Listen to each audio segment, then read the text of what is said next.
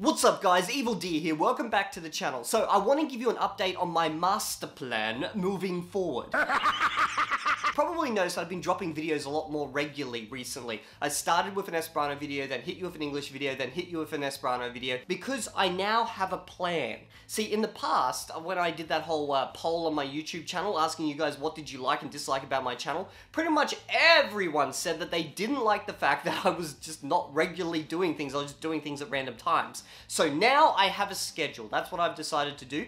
I'm going to drop videos, and this is according to Australian time. Feel free to like translate to your local time.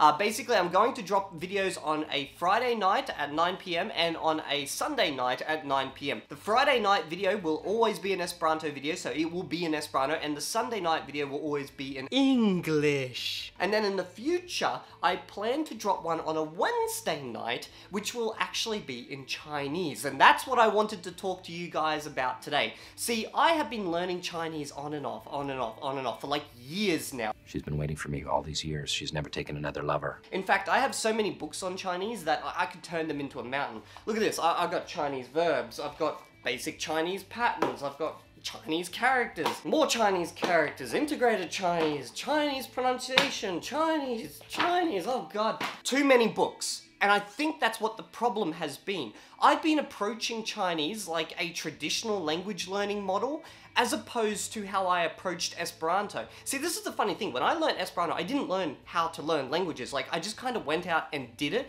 I feel happy. And then I started translating like things that I wanted to say into the language. And if you go check out my earliest video, Nuet mi volas peti pardonon pro tiu chi interrompo. I literally memorized everything that I said in that video and I was just like slowly saying things and I was stuttering and I had terrible pronunciation.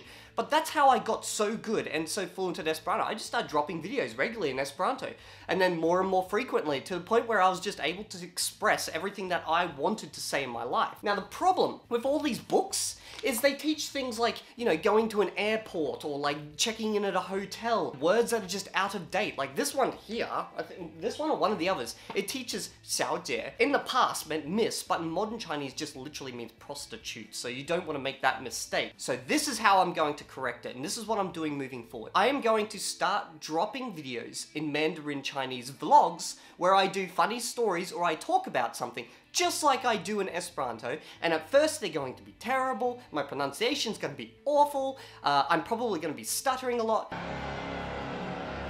and they're going to be wide apart because it's going to take me time to learn all the words I need. And I've already planned out my first one. I wrote out basically a, a, rough outline of what I wanted to say in that video. And I'm going to talk about how I discovered Esperanto. I'm going to talk about all that in Chinese because I thought, you know, I talk about Esperanto a lot, so why not do that, but in Chinese? So that's what I'm going to do. I've written out the speech, I passed it on to my wife, she translated it, I got it back, I looked at it, and about 80% of the words I didn't know. Ah!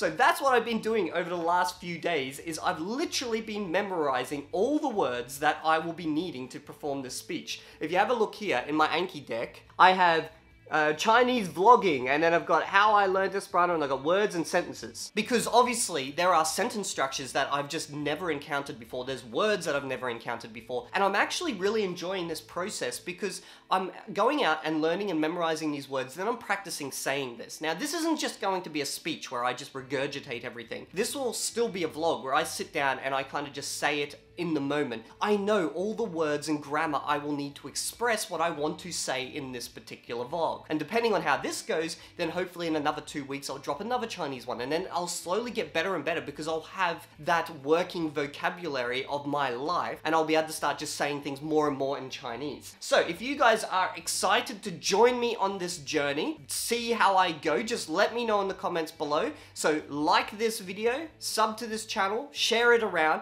and I'll see you all all in the next video. And if you're not there, I will use this very large pile of Chinese grammar books, which I have come to the conclusion are of basically no use for me, to bash you over the head with them.